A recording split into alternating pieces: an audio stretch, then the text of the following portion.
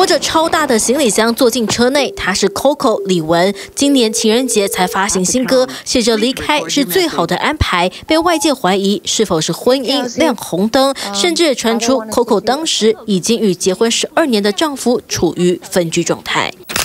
Coco 李玟二零一一年嫁给富商 Bruce，是香港利丰集团总裁，身家超过四十亿。上一段婚姻有两个女儿，李玟与继女关系良好，曾经表示有没有小孩都没有关系，开心就好。没想到几年之后，李玟的丈夫 Bruce 传出疑似与年轻女子关系暧昧，导致两人婚姻关系降到冰点。二零年，李玟在微博写下：“要医治破碎的心灵，是需要极大的勇气和时间的。勇气不是与生俱来，是需要从实践中不断练习、改进和争取。婚姻触礁，毕竟 Coco 早在二十七岁时与丈夫相恋，拍拖十年，感情怎么能说变就变？心中的伤难以复原，这情关恐怕是压垮她关键的一根稻草。”亲爱的，我是 Coco，感受到大家对我的。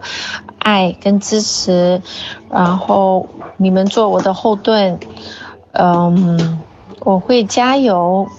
那这段这段时间呢，希望你们自己身体健康、快乐。我非常想念大家，我在努力努力，嗯，想念你们，我也非常想念你们哦，爱你爱你。七分钟不到。想看最完整的新闻内容，记得下载 TVBS 新闻网 APP。